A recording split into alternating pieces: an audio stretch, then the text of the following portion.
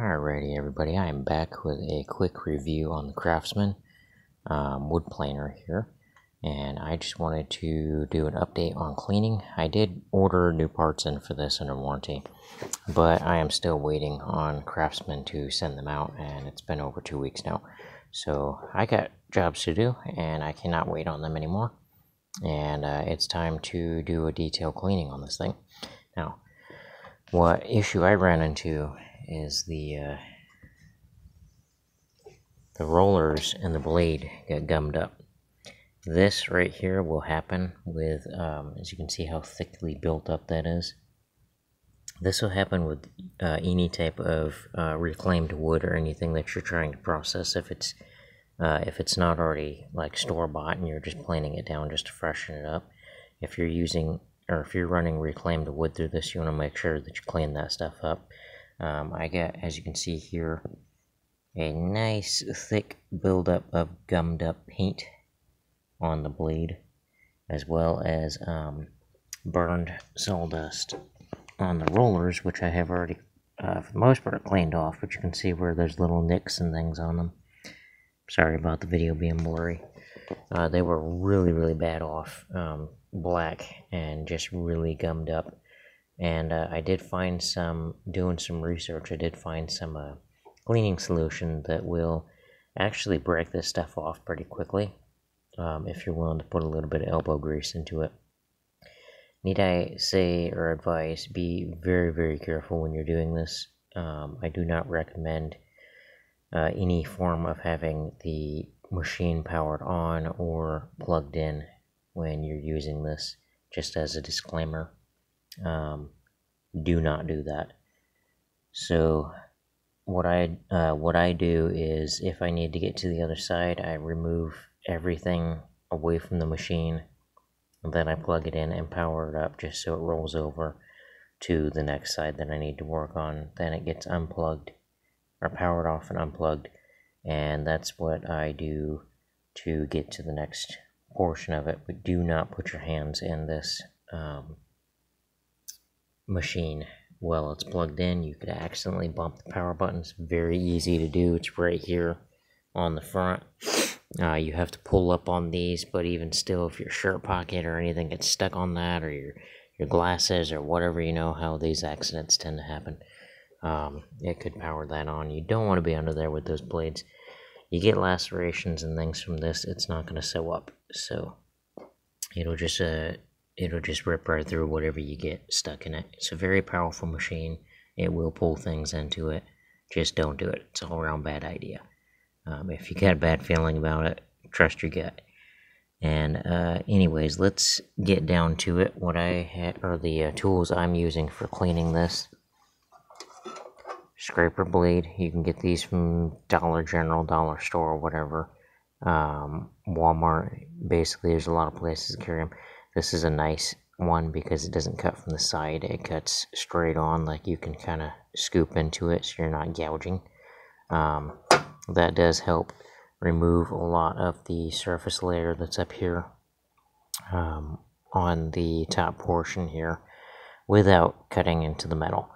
Uh, so that's kind of a, a good tool to have. Just don't, just be sure to go very lightly with these because you can scratch into the metal do not use this on the rubber.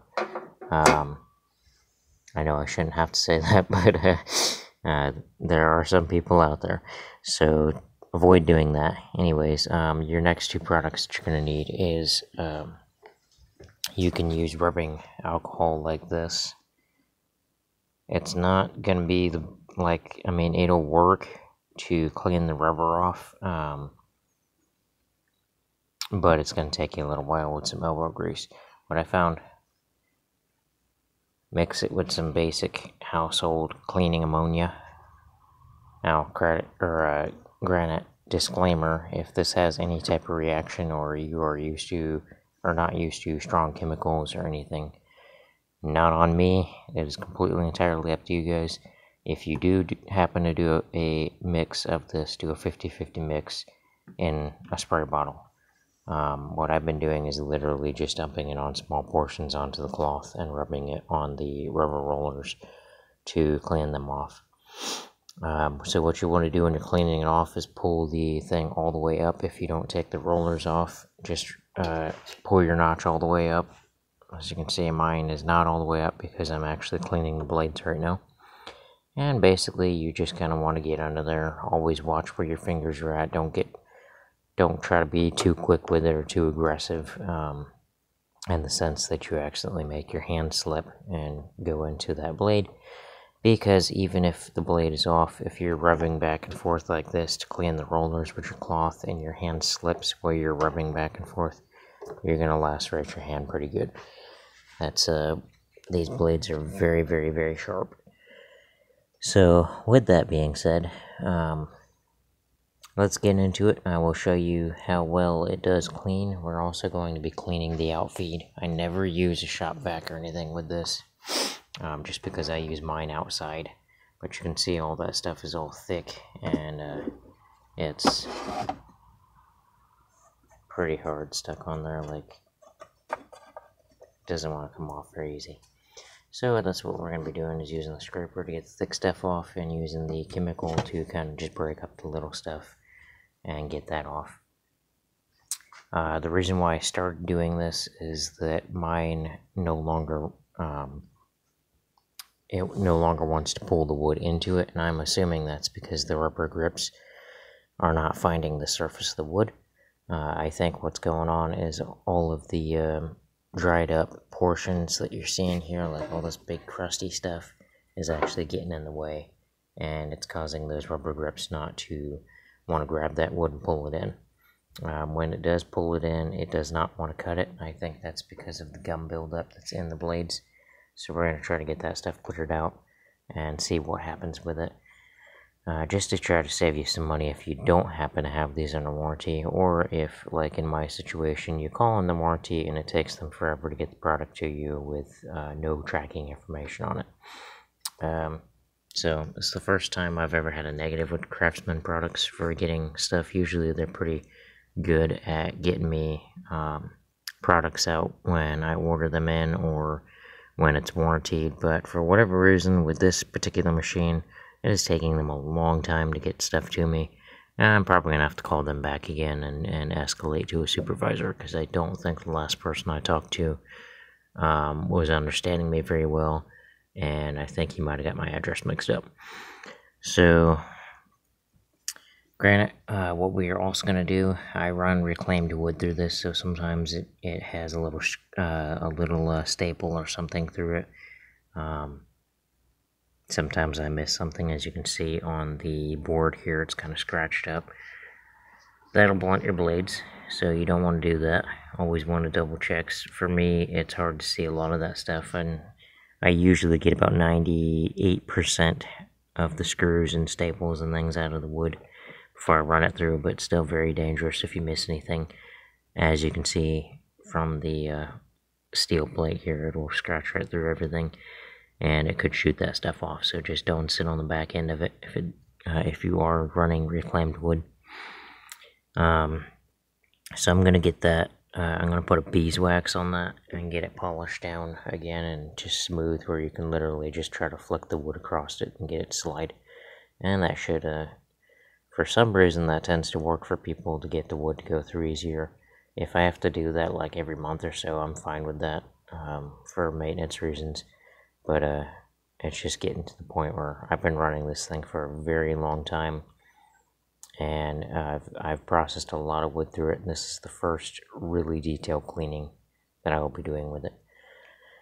So with that being said, I'm going to get it cleaned up and I will show you guys what it looks like after the cleaning and we will see if it works.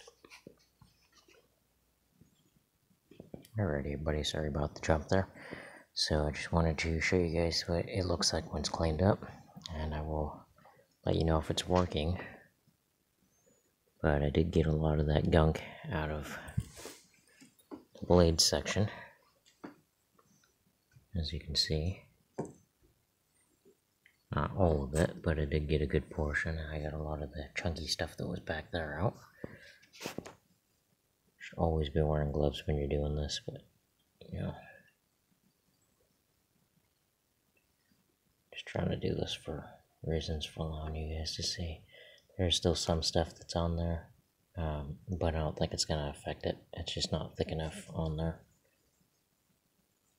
And obviously, it's uh, it's getting time for me to get new blades for this. Um, these are standard issue for Craftsman. They're non-reversible, so it's uh, getting time to get some new blades for those. Anyways, uh, I did put a wax job on this. I used beeswax, um, very old stuff that I got for free, and uh, it seems to do pretty good. See. allows that stuff to slide on there freely. So that's what you want it to do. You don't want it to stick. I just used um, this stuff here. Feed and wax wood preserver. Um, it's basically beeswax and orange oil, so it has a nice smell to it. And uh, it's not really practical to use on metal surfaces, so I don't know how long it's going to last. But hey, uh, that's what I have. So um, let me get this thing buttoned up and I will let you guys know if it is uh, cutting.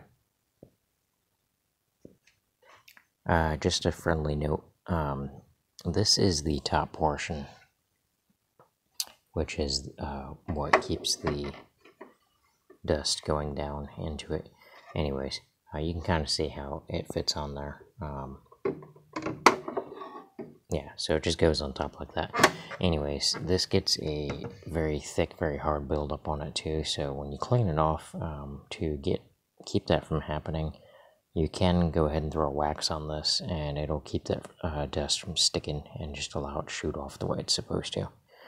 Uh, the reason why I had such a buildup on it is because I actually ran um, reclaimed fence boards through this and they had paint on them, which was a rubberized paint, which tries to re-rubberize when it gets a lot of friction and heat to it, which will happen with these blades.